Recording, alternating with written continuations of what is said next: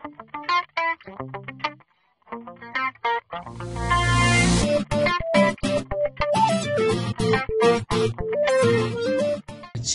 is like you know everyone's gonna animate after a second. So what I need to do is I need to make the animation come after every three frames. So what I need is the second frame must be on the third frame the third frame must be on the sixth frame and and so on. So what I'm going to do I'm going to click on this frame here which is the third frame.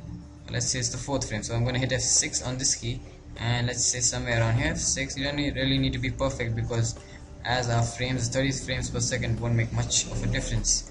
So once you've done that let's hit another one here. And once you've done that let's unlock all these layers here. Make sure you don't unlock the first layer. So come on the first frame here and just highlight everything you see on the stage here. Make sure your first layer is locked so we don't really by mistakenly delete that now see if I delete anything now on the stage you see that all of the points on the first frame are gone. You see the ones which you just created are not going to go since they are not highlighted. So I'm just going to press the delete key and you see we have a stair type of a frame. So now you'll be thinking the first frame is seen in the first frame the first layer sorry. And in the second frame the first layer is not seen. So what we need to do is you see that everyone just blinks in and goes we need to have all of them together. So we need to highlight all these frames here. Make sure you click somewhere out so that you're safe. And then just click here and drag straight down. So you have all of them highlighted. And just hit on your F5 key to insert a frame. Or you could just right click and click on insert frame which is F5 key. Now let's add a stop here. So that's as we already created our actions layer. I'm going to hit F6 here. As I said again you need a keyframe to put in actions at the point you really want once you've done that hit F make sure you are in your actions layer in the 16th frame. I'm going to click on the actions icon here and let's type in again stop. Once you've done that let's close actions and let's check what we have here. Let's see we have one two three four five. Cool. Okay now let's test and see what we have here. Control enter to test your movie and you see woo we see an animation there what we'll do now is actually we'll remove the main stop. So let's get in there again. In we can go in any of the layers there. So I'm just going to remove for temporary. So what I'm going to do is click any actions frame and click on your actions. I'm going to disable this code by not just deleting it. So I'm just going to click on the first line here and I'm going to make this to a comment. So what I'm going to do is apply a line comment. So now you see that the code is disabled. Now if you test our movie you see that it's gonna animate.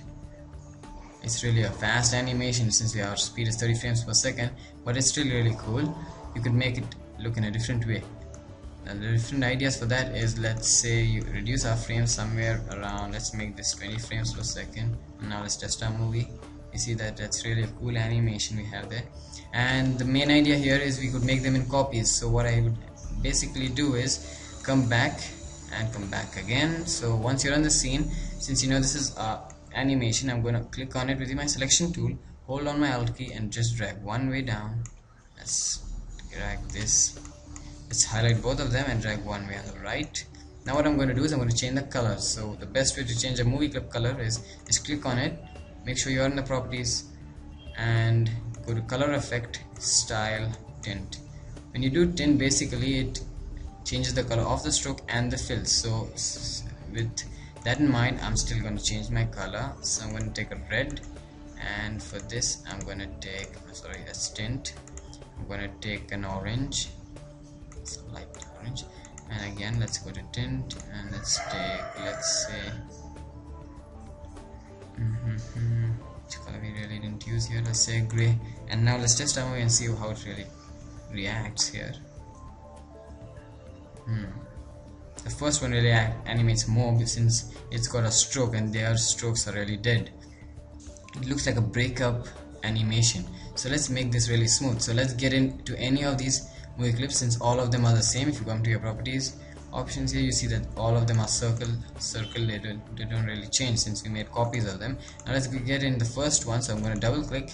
Make sure you're, let's say, I'm going to get in this layer double click again so we have this animation which just gets in small let's make another animation continuing with this and it goes like reverse so what we basically do is since it's a shape doing it's really easy so what you just click and drag to your first frame make sure you highlight your frames properly.